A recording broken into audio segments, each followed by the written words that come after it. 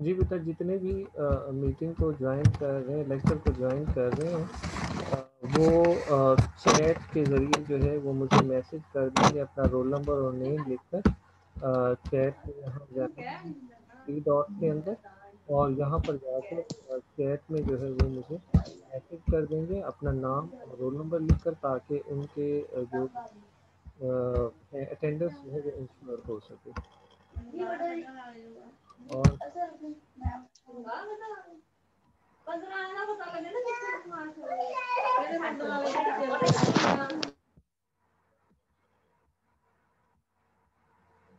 बच्चे, ये अपने जो वो है माइक जो है, उन्हें म्यूट कर लें ताकि आपकी जो आवाज़ है, वो मुझ तक ना है और हम डिस्टर्ब ना हो। और जब आपने कोई क्वेश्चन करना हो तो उस वक्त जो है वो आप अनम्यूट जो है वो कर लें।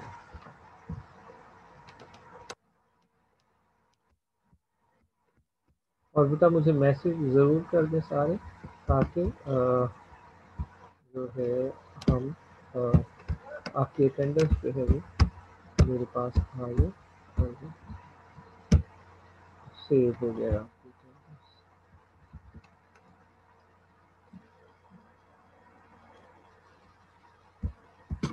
जी बेटा, हम अपना लेक्चर जो है वो स्टार्ट करते हैं और आज का हमारा लेक्चर जो है वो है कैंसर के बारे में। कैंसर जो है, उसकी जेनेटिक पर्सपेक्टिव को देखना है हमने कि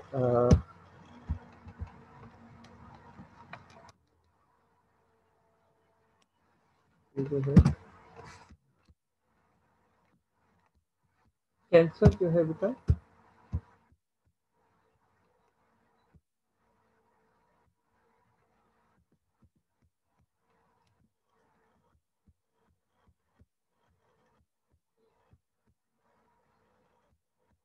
जी कैंसर जो है बेटा,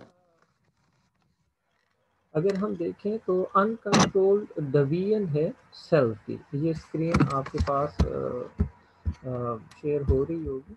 इस टीम जो है, उस पर हाँ ये टॉपिक चल रहा है। ये टॉपिक जो है, वो मैं आपको सेंड भी कर दूँगा। कैंसर जो है बेटा that is the uncontrolled unregulated proliferation of cells के जो सेल हैं, उनका एक सेल साइकिल होता है। वो एक स्पेसिफिक टाइम पर उनकी डिवीज़न हो रही होती है। स्पेसिफिक टाइम पर जो है, वो डिवाइड होते हैं। उनका एक नॉर्मल जो है, वो सेल साइकिल होता है।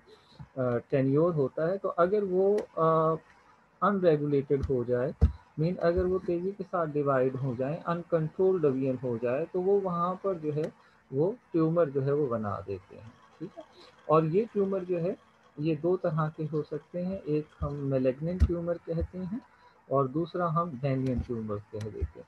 मिलेग्नेंट ट्यूमर जो होते हैं बेटा ये आ, ये जो सेल्स होते हैं जो ये ट्यूमर बनाते हैं उन सेल्स के अंदर एक दूसरे के साथ अटैच होने की पावर जो होती है एडहेसिव जो उनकी फोर्सेस होती हैं वो आ, वो फोर्सेस जो हैं वो आ, जो है वो वीक हो जाती हैं और as a result of that these cells from their uh, neighboring cells and enters into the blood stream and reach at the other places.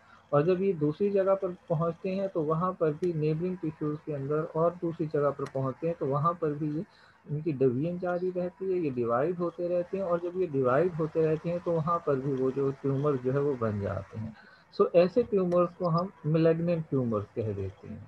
और जब ये अलहदा हो रहे होते हैं तो ऐसी स्टेज को हम मेटास्टेसिस जो है वो कह देते हैं कि ये सेल जो है वो अब आ, पूरी बॉडी के अंदर अदर टिश्यूज़ के अंदर फैल गए हैं। बेनियन ट्यूमर जो होते हैं बेनियन ट्यूमर बेनियन ट्यूमर। जो होते हैं वो ट्यूमर होते हैं जो कि बेनियन ट्यूमर्स वो ट्यूमर होते हैं जो कि दूसरे ऑर्गन्स में दूसरे पार्ट में नहीं होते सिर्फ़ जहाँ पर ये अनकंट्रोल डिवीज़न हुई है सिर्फ़ वहीं तक ये जो है मेंटेन रहते हैं और दूसरे जो पार्ट हैं, दूसरे हिस्से जो हैं, उसमें जो है, ये नहीं फैलते। फॉर्म्स हैं बेटा, कैंसर की कैंसर की अगर हम फॉर्म्स को देखते हैं तो टू फॉर्म्स के अंदर हम मोस्टली जो है, वो डिवाइड करते हैं बिग कैटेगरीज के अंदर। एक वो कैंसर है, जहाँ पर सेल की डिवीज़न जो है, वो बहुत तेज़ी के साथ होती है।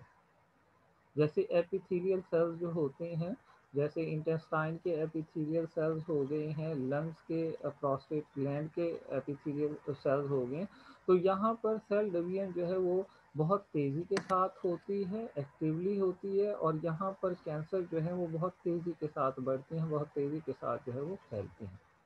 जबकि दूसरे जिनमें रेयर कैंसर होता है कि जहाँ पर डिवीज़न जो है वो बहुत स्लो होती है। तो वहाँ पर जो है जैसे मसल सेल्स हैं जैसे नर्व सेल्स हैं तो इनमें डिवीज़न क्योंकि नर्व सेल्स हैं मेच्योर हो जाते हैं एक मरतबा डिवीज़न ख़त्म हो जाती है इसी तरीके से मसल सेल्स हैं उनकी डिवीज़न भी स्लो होती है तो वहाँ पर कैंसर जो है वो हमें बहुत आ, कम जो है वो नज़र आते हैं। सो स्लो ग्रोइंग हम कह देते हैं कि ट्यूमर जो है वो वहाँ पर बनते हैं। तो कैंसर्स को जो है वो हम टू फॉर्म्स के अंदर जो है वो डिवाइड करते हैं। कार्सिनोजेंस कार्सिनोजेंस ऐसे केमिकल्स होते हैं which cause mutations in the cell और सेल्स की जो सेल साइकिल है उसको डीरेगुलेट करते हैं उसको अनकंट्रोल कर देते हैं। तो ऐसे केमिकल्स uh, को जो कि म्यूटेशंस काज कर दें जो कि कैंसर बनने का बाइस बने तो उनको हम कहते हैं carcinogen carcinogen are those chemicals मुख्तलिफ़ टाइप्स इनके अंदर आ जाती हैं, मुख्तलिफ़ चीज़ें इनके अंदर आ जाती हैं। तो ये ऐसे एजेंट होते हैं जो कि एक नॉर्मल सेल को जो है वो कैंसीरियस सेल के अंदर जो है वो चेंज कर देते हैं और उसको उसकी डिवीज़न को जो है वो अनकंट्रोल कर देते हैं। तो उससे जो है ऐसे केमिकल को हम जो है वो कार्सिनोजेंस कहते हैं। अगर कैंसीरियस सेल जो हैं कैंसर के सेल जो हैं, उनकी हम करेक्टरिस्टिक्स को देखें तो उनकी, उनमें सर्टन करेक्टरिस्टिक्स जो है वो हमें नज़र आती हैं। One that is their cell cycle are their division that is uncontrol unregulated कि इनकी सेल डिवीज़न जो है वो नॉर्मल सेल से ज़्यादा तेज़ी के साथ होती है अनकंट्रोल होती है कि जब बॉडी को उन सेल्स की ज़रूरत है, उन सेल्स में डिवीज़न की ज़रूरत है तो उस वक्त इनकी डिवीज़न नहीं होती, इनकी डिवीज़न मुसलसल जो है कंटिन्यूसली जो है वो जारी रहती है। सो अनकंट्रोल्ड इनकी सेल्स की जो है वो डिवीज़न होती है। सेकंड वन करेक्टरिस्टिक हमें ये नज़र आती है कि आम तौर पर अगर इन्हें हम लैब के अंदर इनको ग्रो करते हैं इन सेल्स को तो इन सेल्स से लेयर्स नहीं बनती, बल्कि ये पाइल्स की शक्ल में, यानी कि एक दूसरे के ऊपर जो है ये सेल्स जो है वो ओवरलाई करते हैं और पाइल पाइल्स की कंडीशन में मीन, मीनार की या आप कह लें ट्यूमर की कंडीशन में इनकी ग्रोथ होती है। नॉर्मल ग्रो नॉर्मल जो लेयर बनती हैं सेल्स की, उस तरह से नॉर्मल लेयर हमें नज़र नहीं आती इनकी फॉर्मेशन की, बल्कि ये पाइलिंग अप होते हैं एक दूसरे के ऊपर और इस तरह से एक मैस बना देते हैं। इवन कि हम इनको अगर लेबॉर्ट्री के अंदर ग्रो करें तो भी हमें ये करेक्टरिस्टिक्स जो है वो, इस तरह से इनकी डिवीज़न जो है वो नज़र आती है, ठीक है? ये जो है, इनके अंदर वो एक दूसरे के साथ जो अटैच होने की कैपेबिलिटी है, वो इनके अंदर कम हो जाती है, ठीक है? और ये क्या करते हैं, वहाँ से ये डिटैच होते हैं और नेबरिंग टिश्यूज़ के अंदर जो है अदर टिश्यूज़ के अंदर जो है ये मूव कर जाते हैं। तो इनकी जो एडहिसिव पार्ट हैं, जो एक दूसरे के साथ चिपकने की जो इनकी, एक दूसरे के साथ अटैच होने की जो सलाहियत है, वो इन सेल्स की जो है वो कम हो जाती है, ठीक है? इसके अलावा अगर हम देखें तो इनका जो साइटोस्केल्टन है, cytoskeleton macro molecules micro molecules जो हैं इंटरमीडिएट फिलामेंट्स जो हैं macro filament micro filament intermediate filament ये तीन टाइप्स हमने पढ़ी थी आप लोगों ने पढ़ी होंगी सेल के अंदर। तो ये जो साइटोस्केल्टन है, ये इसका डिसऑर्गेनाइज्ड हो जाता है। कि इसका जो साइटोस्केल्टन जो है बेटा वो आ, इन इनका जो है वो डिस्टर्ब हो जाता है। और उसकी वजह से जो है बेटा इसकी जो इनकी सर्फेसेस हैं उनके ऊपर अनयूजुअल किस्म की प्रोटीन जो है वो हमें नज़र आती हैं। और जो एक नॉर्मल सेल है जो उनका जो सेल उनका जो साइटोस्केल्टन है उस तरह से इनका हमें साइटोस्केल्टन जो है वो नज़र नहीं आता। नेक्स्ट करेक्टरिस्टिक अगर हम देखें तो इनमें हमें क्रोमोसोमल एविरेशंस नज़र आती हैं। क्रोमोसोमल एविरेशंस जो है, वो कैसे इनमें इनके अंदर क्रोमोसोमल एविरेशंस किस तरह से नज़र आती हैं कि इनमें एन्यूप्लाइडी कंडीशन जो है वो हो सकती हैं क्रोमोसोम नंबर वेरिएशन इनके अंदर आती है। तो सेल्स जो हैं, उनके अंदर जो जो कैंसीरियस सेल्स हैं, ये जो सेल कैंसर के अंदर चेंज हो गए हैं तो उनकी करेक्टरिस्टिक जो है वो नॉर्मल सेल से जो है वो डिफर कर जाती है on the basis of that we distinguish cancer cells from the normal cells normal cell से जो है बेटा हम इनको करते हैं, इनको इनमें डिफ्रेंशिएट कर लेते हैं। Cancer and the cell cycle cell cycle हम कहते हैं कि सेल साइकिल में हमें जो है बेटा एक इंटरफेज नज़र आती है। इंटरफेज में हमें G one phase S phase और टू फ़ेज़ जो है वो जी टू फ़ेज़ नज़र आती है और उसके साथ ही फिर एम फ़ेज़ हमें नज़र आती है माइटोसिस और मियोसिस जो डिवीज़न जो है वो होती है। तो यहाँ पर जो है सर्टन चेक पॉइंट्स होते हैं और उन चेक पॉइंट्स के ऊपर जो है जो सेल साइकिल है वो रेगुलेट करता है। कि सर्टेन चेक पॉइंट्स होते हैं कि अब इस सेल ने डिवाइड होना है। तो उसकी डिवीज़न को जो है चेक पॉइंट्स के ऊपर जो है वो कंट्रोल किया जाता है। सर्टन चेक पॉइंट्स के ऊपर। ये चेक पॉइंट जो है जो जब फेजेस से गुजरता है सेल तो वहाँ पर ये चेक पॉइंट्स जो है वो आ, होते हैं। अब जब कैंसर के अंदर वो सेल्स जो है वो कैंसीरियस सेल के अंदर या कैंसर सेल्स के अंदर चेंज हो जाते हैं तो उनके जो चेक पॉइंट्स है वो डीरेगुलेट हो जाते हैं। मीन अब वहाँ पर उनकी डिवीज़न को कंट्रोल नहीं किया जा सकता और वो सेल साइकिल जो है वो रिपीटेडली मुसलसल होता रहेगा। कि वो सेल साइकिल जो है वो रेगुलेट नहीं होगा। ऐसा नहीं है कि सपोज़ हमारी स्किन का सेल है, उसने 24 फोर आवर्स के अंदर डिवाइड होना है तो उसने मुसलसल 24 फोर आवर्स के अंदर डिवाइड नहीं होना। सर्टन चेक पॉइंट्स के ऊपर हमारी बॉडी उनको कंट्रोल करती है और जब उनकी ज़रूरत होती है, उसी वक्त वो डिवाइड होते हैं। और जो कैंसर के सेल्स हैं, जो cell normal cell cancer cell के अंदर चेंज हो जाते हैं तो उनमें वो चेक पॉइंट्स जो है वो डीरेगुलेट हो जाते हैं। और जब वो डीरेगुलेट होते हैं तो उसके बाद जो है, जो उनका सेल साइकिल है, वो अनकंट्रोल हो जाता है और वो सेल जो है, वो मुसलसल जो है, वो डिवाइड होते रहते हैं और डिवाइड होने के बाद जो है वो ट्यूमर्स के अंदर जो है, वो चेंज हो जाते हैं कैंसर के अंदर जो है, वो चेंज हो जाते हैं। अब यहाँ पर अगर हम देखें इन चेक पॉइंट्स के अंदर तो हमें दो किस्म की जो प्रोटीन्स हैं, उनका बहुत बड़ा रोल जो है, वो नज़र आता है इनमें। एक कहलाती हैं साइक्लिन प्रोटीन्स साइक्लिन्स बेटा ये अपने जो तो ये हैं माइक हैं, उनको म्यूट कर दें। ताकि आपकी आवाज़ें जो है वो ना आए और जब आपने कोई क्वेश्चन करना हो तो उसी वक्त जो है बेटा, वो जो है आप उसको अनम्यूट करें ताकि आप कोई क्वेश्चन जो है वो कर सकें। तो इनमें दो किस्म की प्रोटीन है। एक है साइक्लिन प्रोटीन और दूसरी इसके साथ जो प्रोटीन यूज़ होती है that is called cyclin dependent kinases cyclin dependent kinases ये साइक्लिन डिपेंडेंट काइनेजेस जो हैं सी डी केज भी हम इसे कह देते हैं। C for cyclin D for dependent and kinase के लिए के जो है ये है। तो ये जो साइक्लिन और साइक्लिन और साइक्लिन डिपेंडेंट काइनेजेस हैं, ये मिलकर कम्प्लेक्सेस बनाते हैं।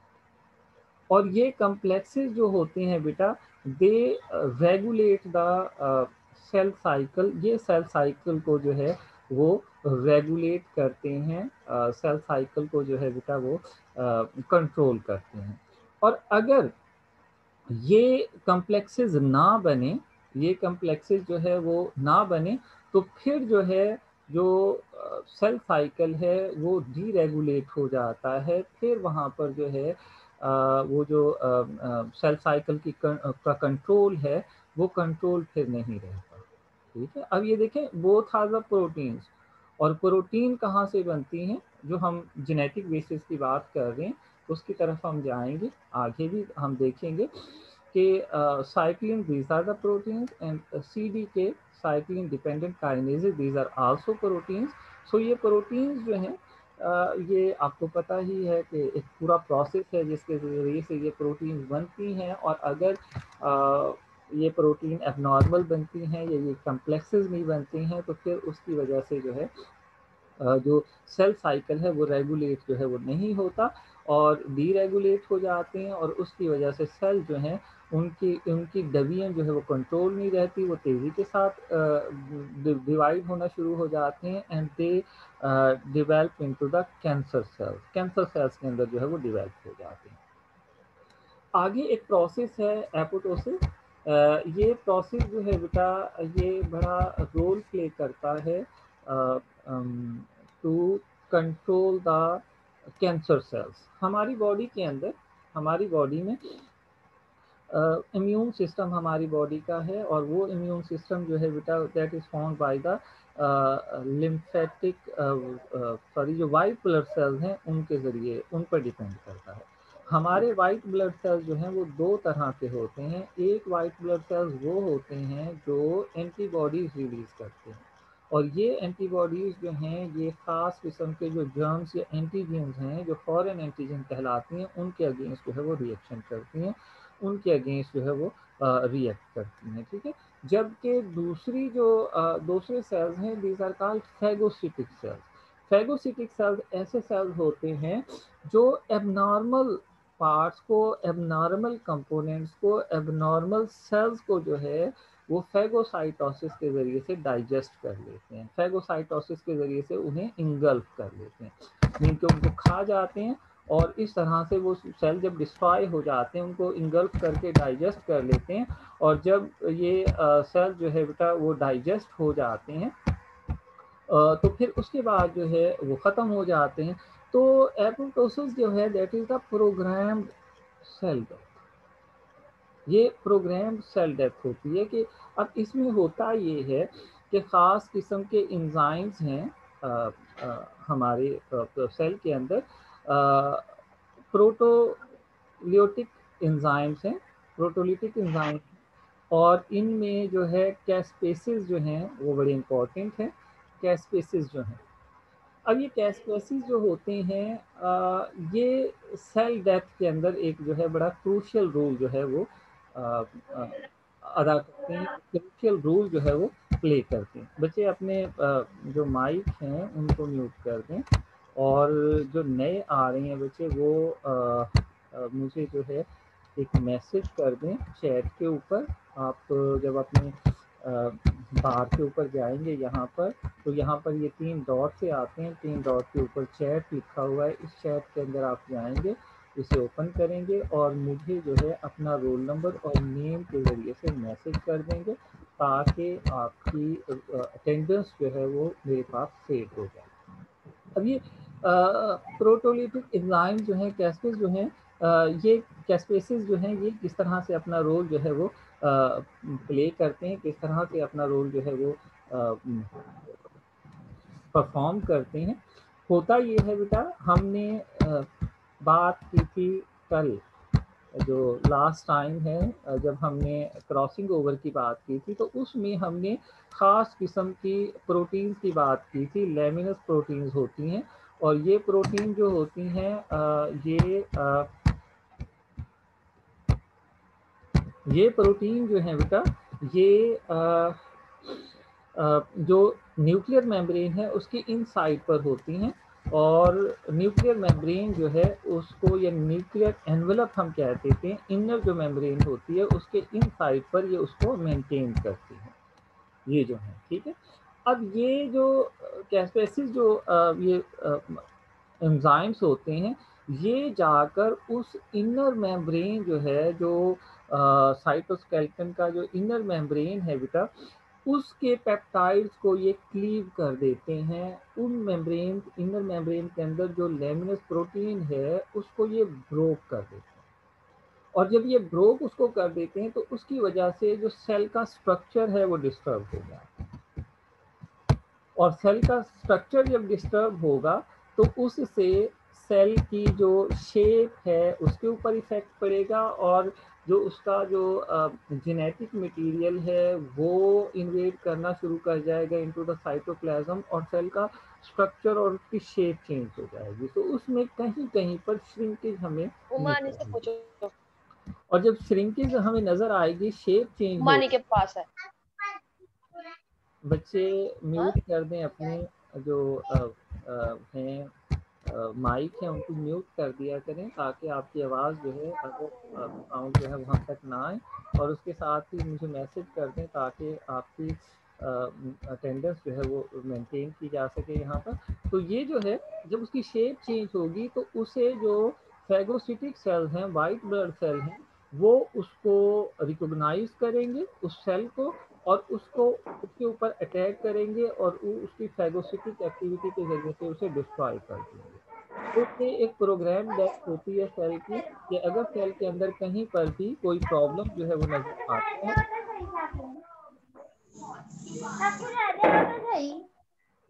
बच्चे, ये आप लोग जो है म्यूट कर दें मैं कह रहा हूँ कि सारे लोग जो है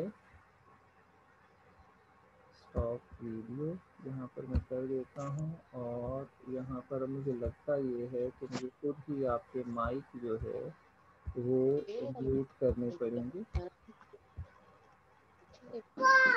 ये म्यूट आप जो है, वो कर लें अपने माइक को ताकि आप जो हैं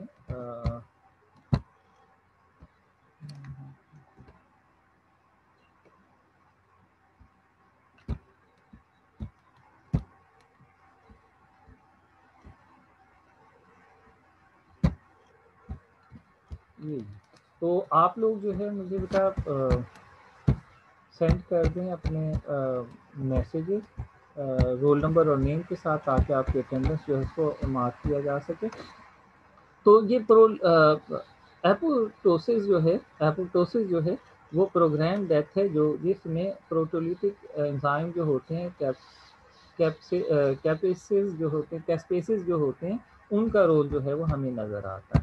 सो so, इस तरह से हमारी बॉडी जो है वो खुद भी इन कैंसर कैंसीरियस सेल्स जो हैं उनको ख़त्म करती रहती है उनको आ, अपनी आ, आ, जो बॉडी है उससे ये रिमूव होते रहते हैं।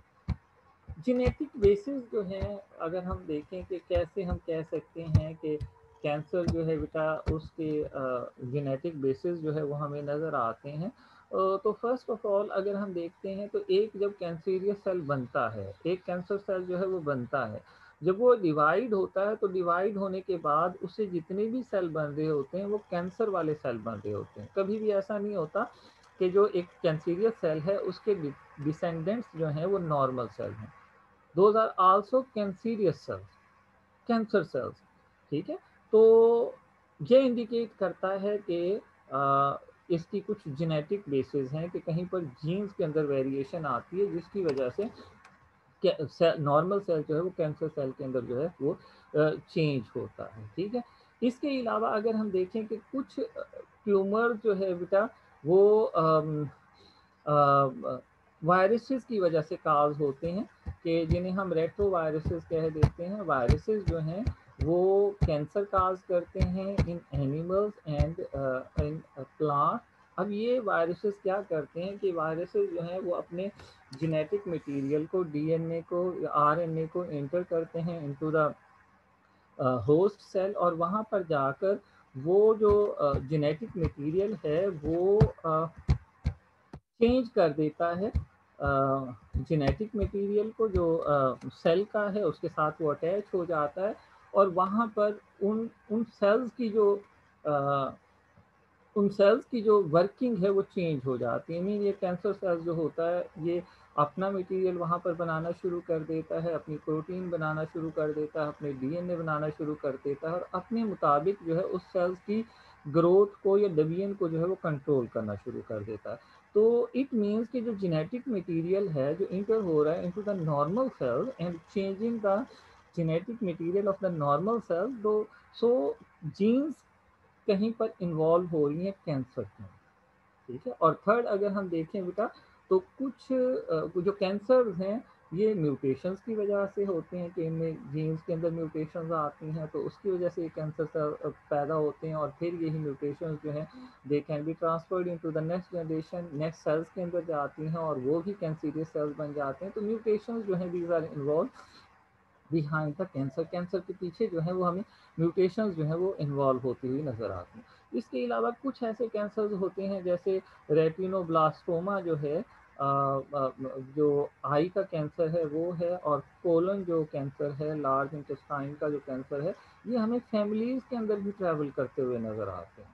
कि फैमिलीज़ में जनरेशन टू जनरेशन जो है वो हमें ये ट्रैवल इनकी हिस्ट्री जो है वो मिलती है। तो दैट आल्सो इंडिकेटिंग कि कैंसर जो है, वो कुछ जेनेटिक बेसिस जो है, वो उसकी हो सकती हैं, ठीक है?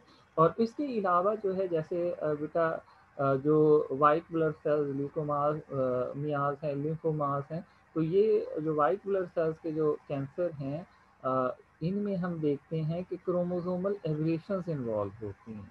मेन क्रोमोजोम्स के स्ट्रक्चर के अंदर या क्रोमोजोम के नंबर के अंदर फ़र्क आता है और उसकी वजह से ये सेल जो है वो कैंसर कैंसरियस सेल्स के अंदर चेंज हो जाते हैं। तो that also indicating that there are some genetic base of the cancer cancer जो है उसकी कुछ जेनेटिक बेसिस जो है वो हो सकती हैं ठीक है? ये तो एक uh, हम uh, देखते हैं कि, कि हम uh, हमें ये चीज़ें जो है वो नज़र आती हैं। लेकिन आजकल रिसर्च के ज़रिए से हमें पता चल गया है कि दो किस्म की जीन्स हैं जो कि इन्वॉल्व होती हैं।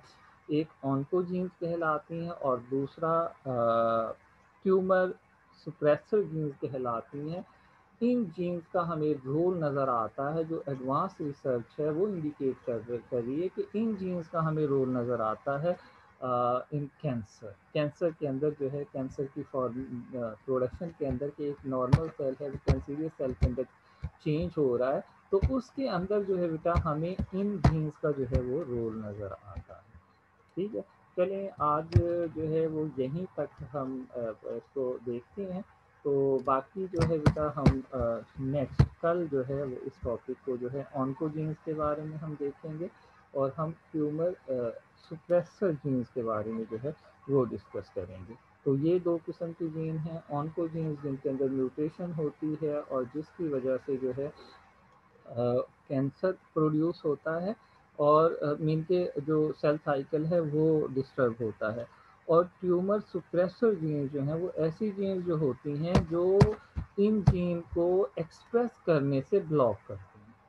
तो अगर उनके अंदर भी म्यूटेशन हो जाए और वो इन ऑनको जीन्स की म्यूटेशन को एक्सप्रेस होने दें तो फिर कैंसर प्रोड्यूस होगा। तो ये दो चीज़ें जो है वो हम इंशाल्लाह कल के लेक्चर में जो है वो डिस्कस करेंगे। अब आप लोगों ने जो है, अगर कोई क्वेश्चन करना है तो अपना जो माइक है, उसे अनम्यूट करके कोई क्वेश्चन कर सकते हैं। और ये जो है बेटा, ये लेक्चर जो है वीडियो की फॉर्म के अंदर भी मैं इसे अपलोड कर दूँगा यूट्यूब चैनल के ऊपर। तो वो आप वहाँ से भी उसको डाउनलोड कर सकते हैं। और दूसरा जो है ये मैं, ये नोट्स जो है वो भी आपको भेज दूँगा ताकि आप इसको रीड भी कर लें और थोड़ा सा लेक्चर अगर आपका रह गया, नहीं सुना है किसी ने या कहीं से कोई बात पॉइंट समझ नहीं आ रहा है तो ये वीडियो के अंदर जो है वो आप उसे दोबारा से देख लेंगे। तो लिंक जो है वो मैं सेंड कर दूँगा, आप उसे सब्सक्राइब कर लेंगे वहाँ पर जाके ताकि ऑनवर्ड जो वीडियोस अगर हम अपलोड करते हैं तो वो उसके ये लेक्चर जो है वो अपलोड करते हैं वहाँ पर तो वो जो है वो आपके लोगों को जो है वो तो वहाँ से अवेलेबल हो जाए जी, अगर किसी ने कोई क्वेश्चन करना है तो अब जो है वो आप क्वेश्चन जो है वो कर सकते हैं। अपने मोबा वो जो है मैं अलाउ कर रहा हूँ पार्टिसिपेंट्स को कि आप जो है वो अनम्यूट कर सकते हैं और आप जो है कोई क्वेश्चन कर सकते हैं। जी बच्चे।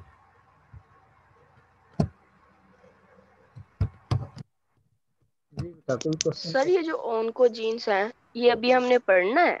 जी हमने अभी पढ़ना है ऑनको सर ये जरा सिग्नल प्रॉब्लम हो गई थी तो समझ नहीं आई। हाँ ये ऑनको जीन्स और ट्यूमर सुप्रेसर जीन्स जो है इनके अंदर जो म्यूटेशन हैं कि किस तरह से कंट्रोल करती हैं क्योंकि हमारे पास टाइम जो है वो लिमिटेड होता है फोर्टी मिनट तक होता है। तो अगर ये ऑनको जीन समझ नहीं आया था इसलिए। जी ऑनको जीन्स को हमने देखना है पढ़ना है ये ऑनको जीन्स जो है। ठीक है? ठीक है सुप्रेसर जीन्स को भी हमने जो है वो पढ़ना है। जब हमारे पास टाइम होता है तो अगर हम इन्हें आगे लेकर जाते हैं पढ़ते हैं तो फिर हमारे पास अब ये देखिए मैसेज आ गया है कि आपका टाइम जो है वो ख़त्म होने वाला है। तो ये पाँच सात मिनट जो हैं वो आपके लिए हैं कि आप अगर कोई क्वेश्चन करना आप जो है अगर आ, कोई आ, अपनी अटेंडेंस वगैरह जो है उसको के मैसेज कर दें मुझे? सर अटेंडेंस का बता दें कैसे लगानी है? बेटा अटेंडेंस जो है यहाँ पर ये आपको स्क्रीन मैंने शेयर की हुई है। यहाँ मोर पर या तीन डॉट होते हैं यहाँ पर जाएँगे आप इसे क्लिक करेंगे तो ऊपर चैट सबसे पहली ऑप्शन आएगी। तो आप इस चैट पर क्लिक करके और मुझे जो है मैसेज कर देंगे अपने रोल नंबर और नेम के साथ।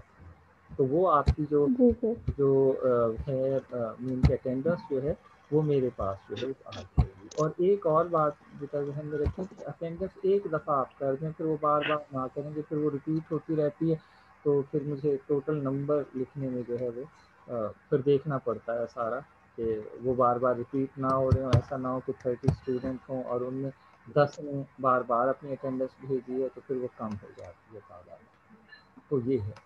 तो उसका बेहतरीन हल एक और आप जो। है जैसे आप लोगों ने अपने रोल नाम अपने आईडी बनाए हैं जो आपने आईडी बनाया है वो तो ठीक है। जो यूज़र नेम है उसे एक मरतबा चेंज कर लें। उस यूज़र नेम को जो है पहले अपना रोल नंबर लिखें कंप्लीट रोल नंबर और उसके बाद जो है डैश लगाकर अपना नेम लिख। तो वो आपका परमानेंटली अब वो यूज़र नेम बन जाएगा और जब आप ऑनलाइन होंगे तो उसी यूज़र नेम के वो यूज़र नेम आपका आएगा। और उसमें अगर आप मुझे सिर्फ़ प्रेजेंट लिख कर भेज देंगे चैट के अंदर तो वो मैसेज जो है वो आपके रोल नंबर के हिसाब से और नेम के हिसाब से सेव हो जाएगा और वो जो है उसे अल्फ़ा रोल नंबर के हिसाब से अरेंज करना मेरे लिए आसान हो जाएगा और आपकी अटेंडेंस जो है वो हो जाएगी। तो बेटा ये last three days last three days नहीं, आपका तो मुसलसल है तो हम कोशिश करेंगे कि जितने मैक्सिमम डेज़ जो है वो हम क्लास ले सकते हैं वीक के अंदर उतनी हम मैक्सिमम डेज़ जो है वो क्लास लेंगे और जेनेटिक्स के जो टॉपिक्स रह गए हैं जो डिस्कस करना तो उनको हम जो है यहाँ पर डिस्कस करेंगे जी बच्चे और कोई क्वेश्चन या कोई प्रॉब्लम किसी को? सर वो मिड का अपना साथ के साथ बता दीजिएगा। बच्चे मिड जो है मैंने बहुत पहले स्टार्ट में बता दिया था कि जो पहला पोर्शन है जो सर वो भूल गए। क्लासिकल जेनेटिक्स वाला पोर्शन है आपके पास सिलेबस मौजूद है। क्लासिकल जेनेटिक्स का जो पोर्शन है वो आपका मिड में होगा और जो एडवांस जेनेटिक्स है वो आपका फाइनल में होगा। ठीक है?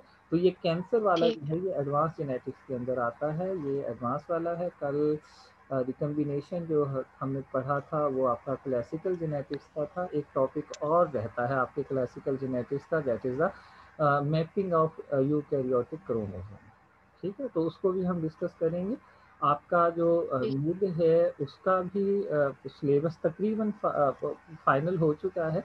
और जो फाइनल का जो सिलेबस है उसमें मेजर पोर्शन जो है मैंने मिड के दौरान आपको बताया था कि हम एक्स लिंक वाई लिंक और एक्स वाई लिंक ऑटोजोमल उनकी डिज़ीज़ भी हमने डिस्कस की थी। तो वही डिज़ीज़ जो हैं उनकी डिस्क्रिप्शन है। तो वो भी तकरीबन कंप्लीट है। तो कुछ कुछ चीज़ें हैं जो हम डिस्कस सर वो सर वो डिजीजेज एफएससी से कर ले। नो नो डिजीजेज बेटा मैंने आपके जो uh, जो क्रोमोसोमल एबिलेशन बताई थी तो उनमें सिंड्रोम्स वगैरह का ज़िक्र मैंने किया ठीक है? सो वहाँ पर उनकी कैरेक्टरिस्टिक्स भी मौजूद हैं ठीक है? वो वहाँ से देख लेंगे और कुछ डिज़ीज़ हैं जो मैं आपको सेंड कर दूँगा। एक पूरा एक फोल्डर मैंने बनाया हुआ है। सो वो फोल्डर मैं आपको सेंड कर दूँगा। जब ये टॉपिक्स आएँगे तो मैं आपको थोड़ा सा बता दूँगा कि ये कहाँ पर किस जगह पर ये आ रही है ठीक है? तो वो ईजी है। आप सिलेबस को देखेंगे तो आपको जैसे डाउन सिंड्रोम है हमने पहले डिस्कस किया आ, कर लिया है जी। आपको याद होगा स्लाइड के अंदर मैंने करेक्टरिस्टिक्स वो तो और वो सारी चीज़ें।